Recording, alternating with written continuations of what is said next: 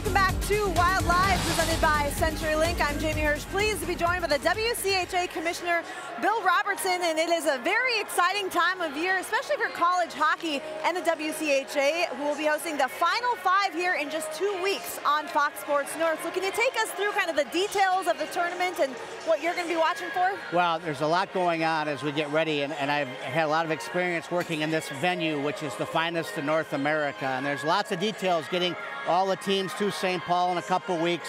But I know this, we're going to have great hockey, and I know it's going to be exciting as it leads us to the NCAA tournament.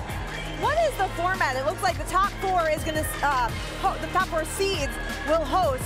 But who are you going to really be watching for to stand out in this tournament? Well, the top four seeds are all, all teams that will be ranked right now. Mankato is the top team in the country, one of the top. They've been in and out of being number one.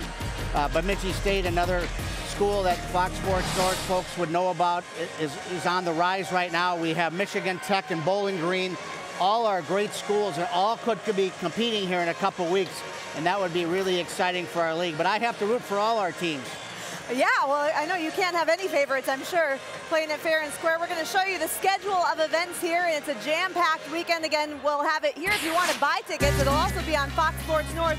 But this is a great event to really see in person. How are ticket sales coming? Well, ticket sales are good. We've sold quite a few packages, but the majority of our ticket sales will happen when the teams are announced uh, next Sunday. So our, our hope is that lots of people throughout the state of hockey will come and to the Xcel Center on March 20th and 21st to watch what I, we call the best tournament in college hockey. All right, well, lots to look forward to. You can buy your tickets at WCHA.com. And of course, that tournament can really help decide seedings for the NCAA tournament. You mentioned Minnesota State, you mentioned uh, Michigan Tech as two teams to watch for what do you think the chances are that we'll see multiple teams from the WCHA in the NCAA tournament? Well, it was my goal when I came in as commissioner. I said boldly that I thought we'd have three teams get to the NCAA tournament.